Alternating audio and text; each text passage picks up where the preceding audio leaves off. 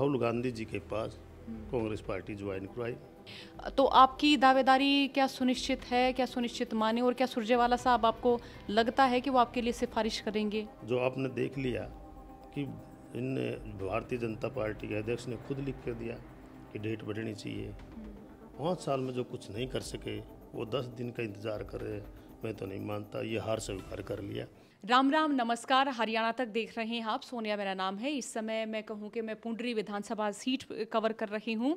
अब आज आपको एक ऐसे नेता से मुखातिब कराने वाले हैं जिनका नाम आपने पुंडरी के राजनीतिक पन्नों में ज़रूर सुना होगा, देखा होगा। लेकिन हो सकता है कि हरियाणा की राजनीति में वो एक नया चेहरा है, वो खुद को फ़िलहाल स्थापित कर रहे हैं, या फिर ये कहें कि अब की बार वो कांग्रेस की टिकट पर चुनाव लड़ते हमें नज़र भी आ सकते हैं। यहाँ पर मैं बात कर रही हूँ सतबीर भाणा साहब की। आ, सर एक बार तो ज़रा अपनी जर्नी बता दें राजनीति की शुरुआत बता दें और पीछे जो मैं तस्वीर देख रही हूँ वो है रणदीप सुरजेवाला साहब की। इसके पीछे का भी कुछ कहानी हो कोई स्टोरी हो वो भी बता दें। सबसे पहले तो मैं सोनिया जी यहाँ पुंडरी हल्के में पहुँचने पर मैं आपका स्वागत करता हूँ और आपके चैनल का भी मैं स्वागत करता हूँ। बहन जी मैंने जो मेरी राजनीति शुरुआत की मेरे हलके में मैंने मेरे साथियों ने जो मुझे कहा कि आपने सेवा करनी है तो हलके की पूरी सेवा करो। आप चुनाव लड़ो विधानसभा का। फैमिली बैकग्राउंड ज़रा बताएँ आपका। फैमिली बैकग्राउंड में एक छोटे से किसान परिवार मजदूर परिवार से मैं आया हूँ। मेरे पिताजी भी एक मजदूर थे किसान थे मेरे दादाजी भी एक मजदूर किसान थे।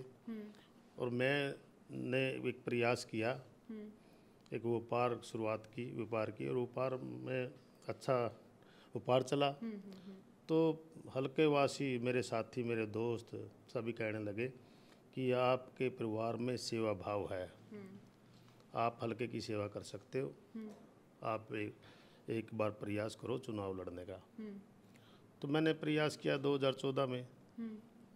2014 में मैंने 15000 वोट मिली। हम्म, ये आपने निर्दलीय चुनाव लड़ा था उस समय। चुनाव लड़ा मुझे बहुत अच्छा लगा कि जनता मुझे आशीर्वाद देना चाहती है हल्का मुझे चाहता है। हल्का चाहता है कि वह कोई ऐसा साथी आए जो हल्के की सेवा करे। तो मैंने मेरे आगे एक चैलेंज जो हल्के की सेवा कैसे करूँ किस पार्टी को चुनूं किस नेता को चुनूं उस समय मेरी परीक्षा की घड़ी थी। मैंने देखना था कि मैंने एमएलए नहीं मैंने तो सिर्फ़ सेवा चाहिए। और सेवा किस माध्यम से किस नेता के साथ हो सकती है कौन सच्चा नेता है पार्टी कौन सी अच्छी है? तो मैंने सबसे पहले चौधरी रणदीप सिंह सुरजेवाला जी से मैं मिला। मैंने वो सभी गुण देखे। कि वो कर्म पर विश्वास कर रखते हैं। कोई जात पात में विश्वास नहीं रखते। काम करने वाला चाहे किसी बिरादरी का हो छत्तीस बिरादरी का चाहे मजदूर हो। उसको आगे बढ़ाने की वो कोशिश करते हैं। पहली मुलाकात में मैंने विश्वास हो गया अगर मैं किसी को मेरा राजनीतिक गुरु बनाऊँगा तो मैं चौधरी रणदीप सिंह सुरजेवाला जी को बनाऊँगा। और फिर आप कांग्रेस ज्वाइन करते हैं? चौधरी रणदीप सिंह सुरजेवाला जी ने 2017 में 21 अप्रैल को राहुल गांधी जी के पास कांग्रेस पार्टी ज्वाइन करवाई। और उसी दिन से मैंने कांग्रेस पार्टी ज्वाइन करने के बाद कांग्रेस पार्टी का प्रचार और प्रसार शुरू कर दिया। अच्छा जब आपने ज्वाइनिंग की कांग्रेस तो तब राहुल गांधी जी साथ थे? राहुल गांधी जी वहाँ अध्यक्ष थे। और जब राहुल गांधी जी के साथ मैंने पार्टी ज्वाइन की यहाँ बहुत से टोंट कसते थे कि आपने पार्टी की ज्वाइन गलत कर ली डूबते जहाज़ में बैठ गए। मुझे पता था कि राहुल गांधी क्या है।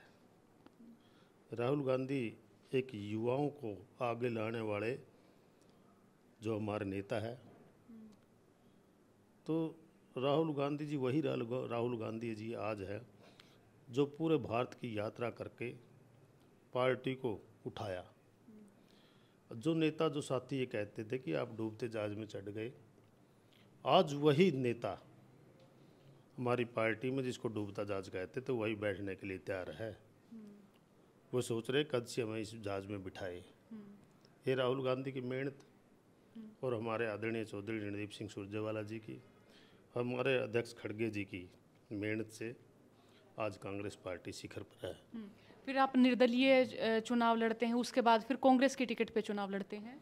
हाँ जब मैंने पार्टी ज्वाइन की और मेहनत की मेहनत करने के बाद हल्के से एक आवाज़ आई कि अब की बार सतवीर भाना को मौका देना चाहिए। तो कांग्रेस पार्टी की टिकट मिली। चौधरी रणदीप सिंह सुरजेवाला जी की वकालत से और हाईकमान के आशीर्वाद से मुझे टिकट मिली। और जो 2014 में यह कांग्रेस पार्टी पूरे हरियाणा में सबसे नीचे थी। मात्र पैंतीस सौ बाईस वोट उसको मिले थे। मेरे आगे एक बहुत ही कठिन घड़ी थी जो कांग्रेस पार्टी इतने नीचे थी, उसको साथ वोट मांगना और उसको उठाना। यहाँ कांग्रेस पार्टी का कोई ग्राफ नहीं रहा था। तो जब मैंने चुनाव की शुरुआत की, सभी साथियों ने मेरे साथ लग करके मेहनत की और पचहत्तर पार का नारा जो भारतीय जनता पार्टी लगा लगा रही थी उसकी भी यहाँ से जमान जब्त हुई। और जो कांग्रेस पार्टी 2014 में सबसे नीचे पार्टी थी हमारे पुंडरी हलके में, वो 2019 में सबसे ऊपर में कांग्रेस पार्टी यहाँ से रही। साढ़े अठाईस हज़ार के करीब वोट मैंने मिले और मैं सेकंड पोजीशन पर रहा। क्योंकि जो यहाँ का विधायक जो बना है, उसने इमोशनल कार्ड खेल दिया। बड़े बड़े आँसू भाई रोया। जो जनता सहन नहीं कर सके, जो जनता अपने दिल पर ले गए, कि अब की बार तो हमने रणधीर गोलन को वोट देनी चाहिए। यही कारण था मेरा पिछले चुनाव हारने का। लेकिन मैंने हार नहीं मानी, क्यों? मेरी पार्टी नंबर एक पर रही। तो चौबीस में आपने फिर आवेदन दे दिया।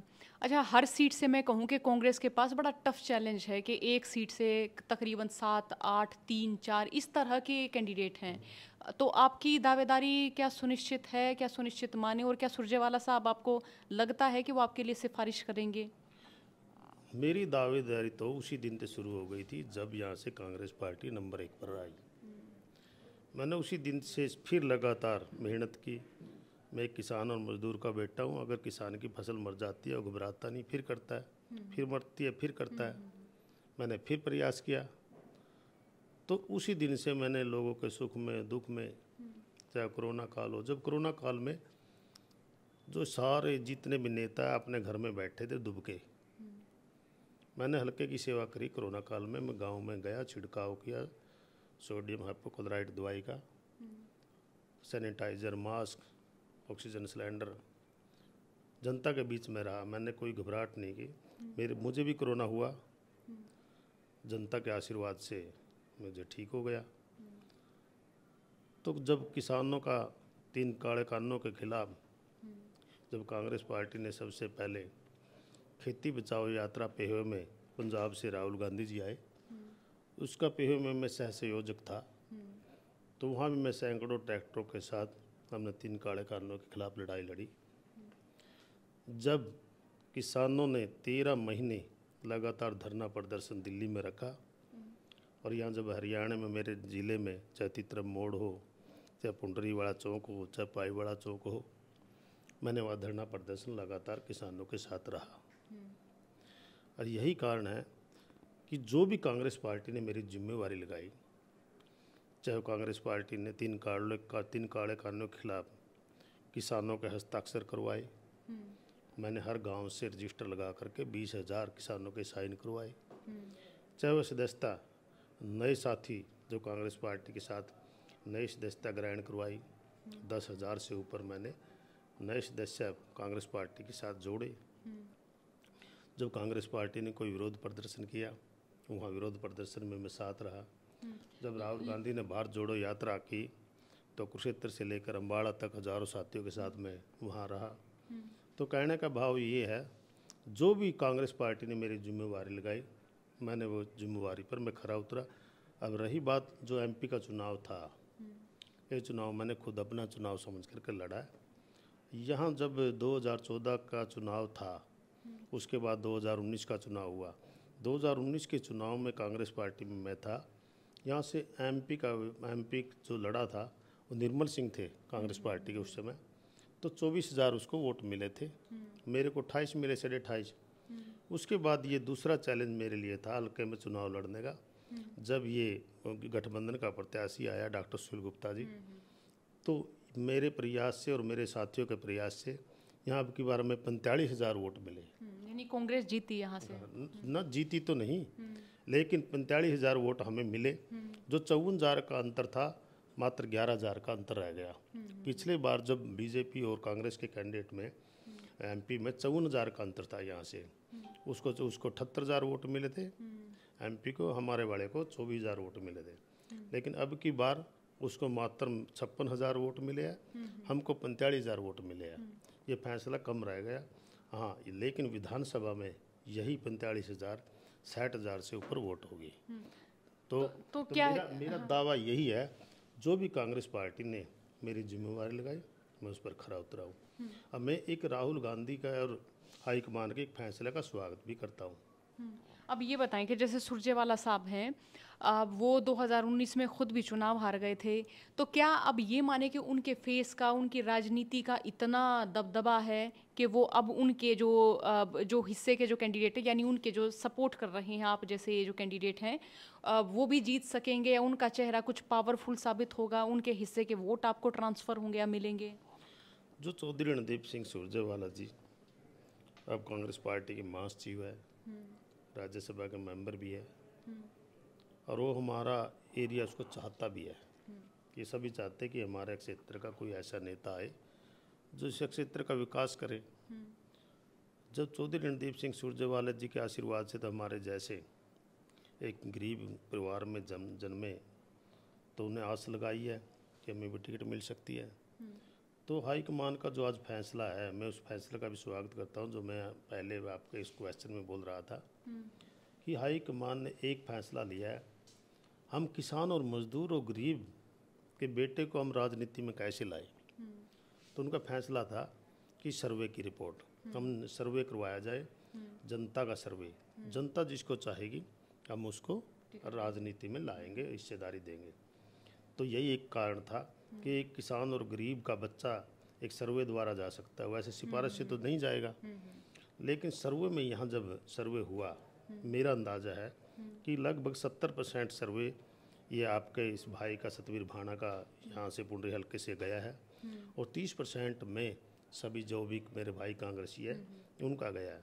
जब सत्तर परसेंट एक साथी का जाता है तो समझो मैंने मेरी जो मेहनत है मेरे लोगों ने मेरे को आशीर्वाद दे दिया जो इसमें लोगों के बीच में लगातार पंद्रह साल रहा। रही बात रणदीप सिंह सुरजेवाला जी की। सुरजेवाला जी मैंने पहले भी कहा था वो किसी जात पात में विश्वास नहीं रखते वो बात मारने में विश्वास नहीं रखते वो मेहनती कोई भी हो किसी बिरादरी का हो मेहनत करने वाला हो और कांग्रेस पार्टी को अपनी माँ समझता हो वो उसको चाहते हैं। तो यही कारण है कि आज मैंने मैं अपनी मेहनत से मेरे साथियों के द्वारा की गई मेहनत से आज ये मुझे फल मिलने जा रहा है और मुझे आशा और विश्वास है कि कांग्रेस पार्टी मेरी इस मेहनत पर मोहर लगाएगी। और यहाँ पर मुकाबला बीजेपी और कांग्रेस के बीच माने? बहन जी यहाँ तो कोई मुकाबला है ही नहीं। क्योंकि जब चेतर पार का नारा था भारतीय जनता पार्टी का उस समय यहाँ मात्र बीस हज़ार कुछ वोट मिले थे। और उसकी जबान जब्त हुई थी।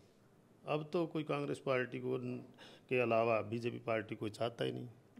बीजेपी के जो आपने देख लिया कि इन भारतीय जनता पार्टी के अध्यक्ष ने खुद लिख कर दिया कि डेट बढ़नी चाहिए। पाँच साल में जो कुछ नहीं कर सके, वो दस दिन का इंतज़ार कर रहे मैं तो नहीं मानता, ये हार स्वीकार कर लिया।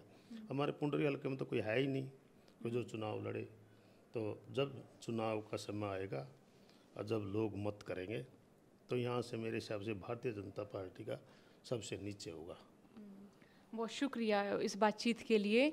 और जब हम कहें कि टिकटों का वितरण हो जाएगा और जब रिज़ल्ट भी आ जाएँगे हम ये दो बार इनसे मुलाकात करेंगे। पहली बार जब या फिर हम ये कि जब लिस्ट आ जाएगी, इनका नाम आ जाएगा। बहुत सारे सवाल तब पूछेंगे और जब रिज़ल्ट आ जाएगा, इनका दावा कितना सच रहा, उस पर भी हम बात करेंगे। तो दरख्वास्त मेरी आपसे कि समय दीजिएगा हमें। बहुत बहुत शुक्रिया बातचीत के लिए। बातचीत आप तक पहुँचा रही है। अब कोयल कैमरे के पीछे है और सामने मैं हूँ। बहुत बहुत शुक्रिया इस बातचीत को सुनने के लिए। राम राम।